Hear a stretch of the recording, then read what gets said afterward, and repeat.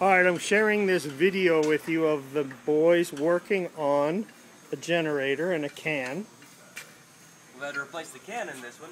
What happened? Most likely, somebody sprayed water behind the bell housing on the engine and fried the can.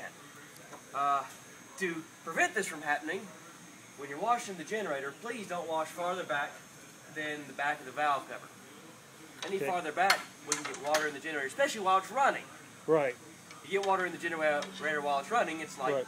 submerging a plug into water. It's What- going to fry. And what about the other problem, like when I had a problem where it happened to me going through heavy, heavy rain and slush, and the moisture got in and up underneath? We have a solution for that? Do we have a solution for that? No. No solution? We're But working on I thought you said Jamie Do was not run your generator when it's pouring rain. Okay. What about what Jamie designed in the brown bus? Louvers. To keep Louvers. the moisture out. The main problem we run into is the snow packing behind it. That was the worst problem. There's no packing behind it? Yes. And melting and submerging everything. So, They've taken these out, slid them out. There's been a wall of snow behind them, up around this. preventative maintenance?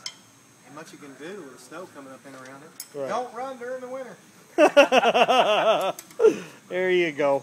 And that's it from the mechanics. Would you like to buy a bike?